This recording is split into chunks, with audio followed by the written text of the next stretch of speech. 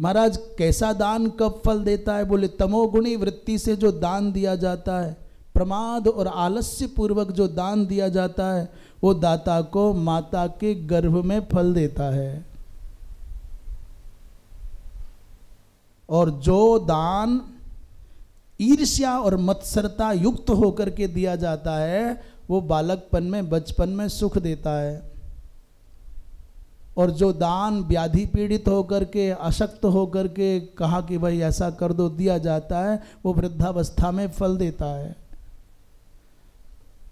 इसलिए प्रसन्नता पूर्वक और कर्तव्य बुद्धि से देश, काल और पात्र का विचार करके दान दिया जाए तो समग्र जीवन में उसका प्रतिफल मिलता है। दान कैसे करें? बोले, देश, काल और उत्तम देश में, उत्तम समय में।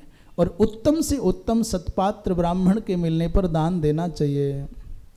ये दानदाता के पाप कैसे कटते हैं? प्रश्न किया, उत्तर दे रहे हैं। जो दान स्वीकार करता है, दाता का दान, दाता के दान के साथ दाता के पाप भी अदृष्ट रूप से चल करके आते हैं। अन्नदान जो होता है ना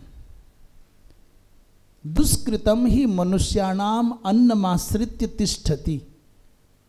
मनुष्य के जो दूषित कर्म हैं, दुष्कृत हैं, अन्न में छुप के रहते हैं और जो जिसका अन्न खाता है, उसके पाप खाता है।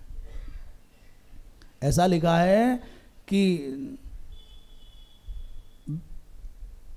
कुक्षु तिष्ठति यस्यान्नम वेदाभ्यासेन जीर्यति। किसी ने ब्राह्मण ने आपका भोजन किया और फिर वो लगा इखेत्वोर जेत्वावस्थ देवो वह इत्यादि मंत्र पाठ करने में लगा। उसका भोजन जीर्ण हो गया। तो कुक्षौ तिष्ठति यस्यान्नम वेदाभ्यासेन जीर्यति।